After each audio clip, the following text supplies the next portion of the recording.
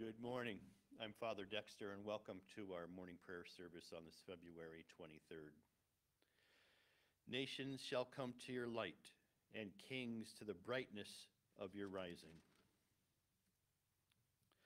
Let us confess our sins against God and our neighbor. Most merciful God, we confess that we have sinned against you in thought, word, and deed, by what we have done, what we have left undone. We have not loved you with our whole heart. We have not loved our neighbors as ourselves. We are truly sorry, and we humbly repent. For the sake of your Son, Jesus Christ, have mercy on us and forgive us, that we may delight in your will and walk in your ways to the glory of your name. Amen. Almighty God, have mercy on you, forgive you all your sins through our Lord Jesus Christ, strengthen you in all goodness, and by the power of the Holy Spirit, keep you in eternal life. Amen. Lord, open our lips. And our mouth shall proclaim your praise. Glory to the Father, and to the Son, and to the Holy Spirit, as it was in the beginning, is now, and will be forever. Amen. The Venite. Come, let us sing to the Lord.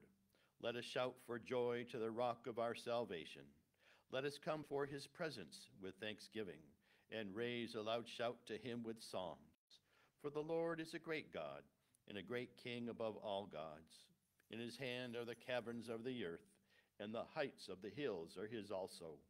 The sea is his, for he made it, and his hands have molded the dry land. Come, let us bow down and bend the knee and kneel before the Lord our Maker, for he is our God, and we are the people of his pasture and the sheep of his hand. Oh, that today you would hearken to hear his voice. The Psalms for this morning are Psalms 128 and 130. Happy is everyone who fears the Lord, who walks in his ways.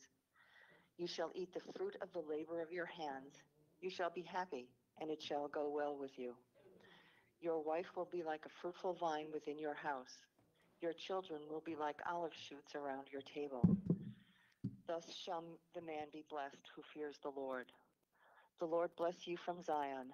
May you see the prosperity of Jerusalem, Jerusalem all the days of your life. May you see your children's children. Peace be upon Israel. Out of the depths I cry to you, O Lord. Lord, hear my voice. Let your ears be attentive to the voice of my supplications. If you, O Lord, should mark iniquities, Lord, who could stand? But there is forgiveness with you, so that you may be revered. I wait for the Lord, my soul waits, and in his word I hope. My soul waits for the Lord more than those who watch for the morning, more than those who watch for the morning. O Israel, hope in the Lord, for the Lord is for with the Lord there is steadfast love, and with him is great power to redeem. It is he who will redeem Israel from all its iniquities. Glory to the Father, and to the Son, and to the Holy Spirit, as it was in the beginning, is now, and will be forever. Amen. Gospel according to John. Many of the Jews, therefore, who had come with Mary and had seen what Jesus did, believed in him. But some of them went to the Pharisees and told them what he had done. So the priests and the Pharisees called a meeting of the council and said, What are we to do? This man is performing many signs. If we let him go on like this, everyone will believe in him, and the Romans will come and destroy both our holy place and our nation. But one of them, Caiaphas, was the high priest that year and said to them, You know nothing at all. You do not understand that it is better for you to have one man die for the people than to have the whole nation destroyed. He did not say this on his own, but being high priest that year, he prophesied that Jesus was about to die for the nation, and not for the nation only, but to gather into one the dispersed children of God. So from that day on, they planned to put him to death. Jesus, therefore, no longer walked about openly among the Jews, but went from there to a town called Ephraim, in the region near the wilderness, and he remained there with the disciples. The word of the Lord. Be to God.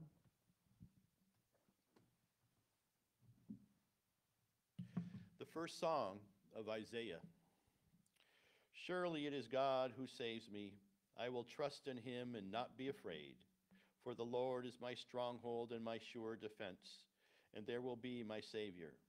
Therefore you shall draw water with rejoicing from the springs of salvation. And on that day you shall say, Give thanks to the Lord and call upon his name.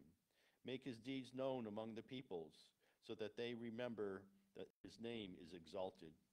Sing the praises of the Lord, for he has done great things, and this is known in all the world.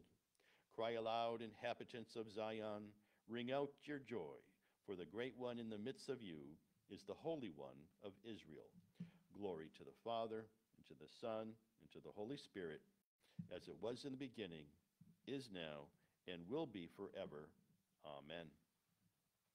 The Apostles' Creed.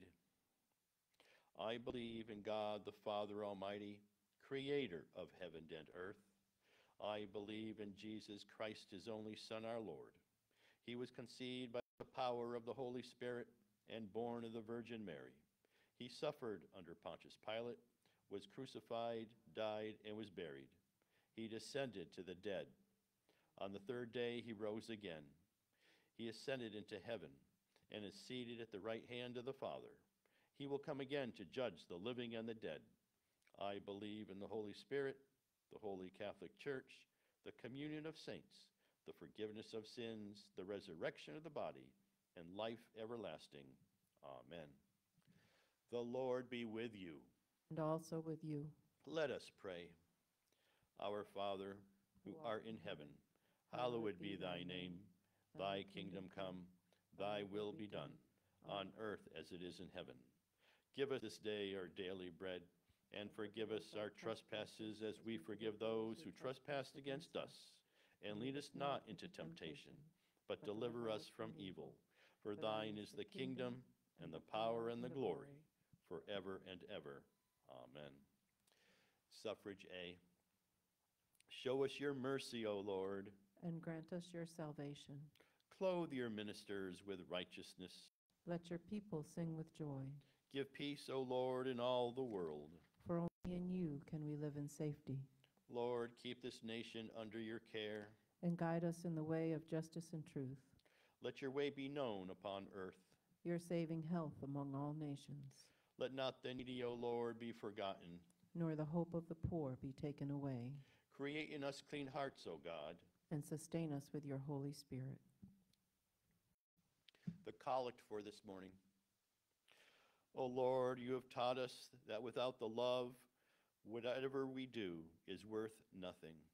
Send your Holy Spirit and pour out into our hearts your greatest gift, which is love, the true bond of peace and of all virtue, without which whoever lives and is accounted dead before you. Grant this for the sake of your only Son, Jesus Christ, who lives and reigns with you and the Holy Spirit, one God, now and forever. Amen. A collect for grace. Lord God, Almighty and everlasting Father, you have brought us in safety to this new day. Preserve us with your mighty power, that we may not fall into sin nor be overcome by adversity. And in all we do, direct us to the fulfilling of your purpose through Jesus Christ our Lord. Amen. O God, you have made of one blood all the peoples of the earth. You sent your blessed Son to preach peace to those who are far off and to those who are near. Grant that people everywhere may seek you, after you, and find you. Bring the nations into your fold, pour out your Spirit upon all flesh, and hasten the coming of your kingdom through Jesus Christ our Lord. Amen.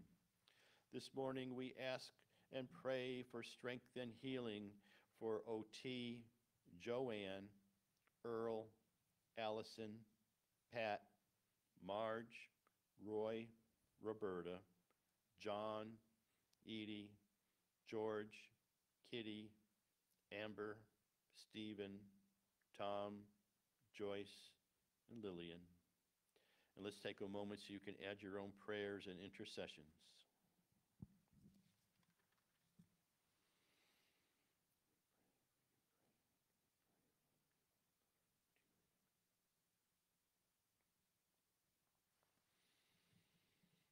Prayer of St. Chrysostom.